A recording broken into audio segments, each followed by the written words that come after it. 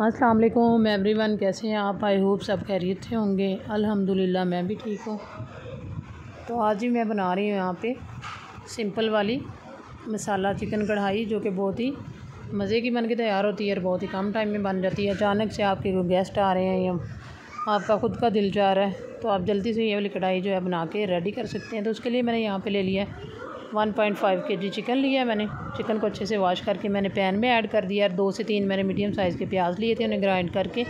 उनको भी ऐड कर दिया। चार से पाँच मैंने यहाँ पे लिए हैं जी टमाटर। तो टमाटर को भी हाफ़ कट करके मैं पीसेज में इसको भी मैंने ऐड कर दिया और one and half tablespoon मैंने इसमें अदरक, लहसुन का पेस्ट शामिल किया है, फ्रेश।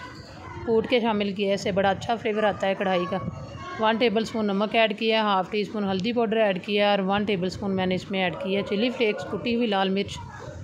और बहुत थोड़ी सी मैंने इसके अंदर जो है हाफ़ टी स्पून के अराउंड पिसी हुई लाल मिर्च शामिल की और कुछ साबुत गर्म मसाले शामिल करेंगे। लौंग है, तीन से चार, तीन से चार काली मिर्चें हैं, दो अदद दारचीनी की स्टिक्स हैं, एक अदद बड़ी इलायची है।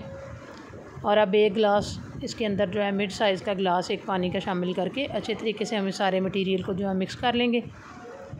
तो ये वाली कढ़ाई जो है रेस्टोरेंट में भी बनती है, बहुत ईजी वे में वो जो है बना के रेडी कर देते हैं आपको। थोड़ी देर ही जब आप ऑर्डर करते हैं कढ़ाई वहाँ पे जाके।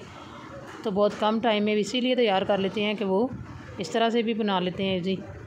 वो जल्दी से बन जाती है। तो ये देखें, इसको मैंने पकने के लिए छोड़ दिया था, और एक दफ़ा मैंने मिक्स कर दिया बीच में। तो एक गिलास पानी मैंने इसमें शामिल किया है, और ये आठ से दस मिनट में जो है चिकन भी टेंडर हो जाएगा, और पानी भी हमारा जो है यहाँ पे ड्राई हो जाएगा।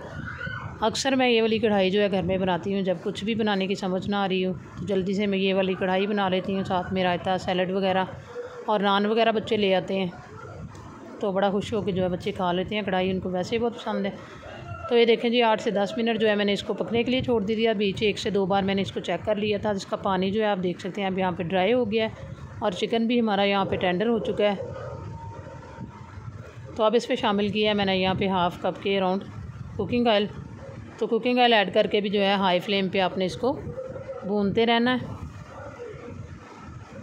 अच्छे तरीके से और साथ शामिल किए हैं मैंने यहाँ पे पाँच से छः साबुत, सब्ज़ मिर्चें और एक कप के राउंड मैंने इसमें दही शामिल कर दिया। दही को अच्छे तरीके से मैंने फेंट के रख लिया था और अच्छे तरीके से तेज़ फ्लेम पे भून लिया मैंने इसको। यहाँ पे अब इसमें शामिल करेंगे पिसी हुई ब्लैक पेपर थोड़ी सी होममेड पिसा हुआ गरम मसाला और हाफ़ टेबल स्पून इसमें शामिल किया है मैंने कुटा हुआ खुश्क धनिया पाउडर। इससे भी कढ़ाई में बहुत अच्छा सा फ्लेवर और टेस्ट जो है वो डिवेल्प होता है। तो ज़रूर आप भी शामिल किया करें और लास्ट पे ब्लैक पेपर आपने शामिल करनी है।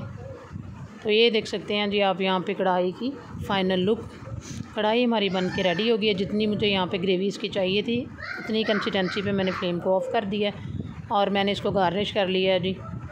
अदरक के साथ और सब्ज़ धनिए के साथ। माशाल्लाह बहुत मज़े की बनी हुई है, बहुत मज़े की खुशबू आ रही है। ये देख सकते हैं आप इसका टेक्सचर थोड़ी सी मैंने इसके अंदर कलवंजी और सौंफ भी शामिल की थी, उससे अचारी टेस्ट और लुक आती है इसकी। उम्मीद है आपको आज की वीडियो जो है पसंद आई होगी। अल्लाह हाफिज़।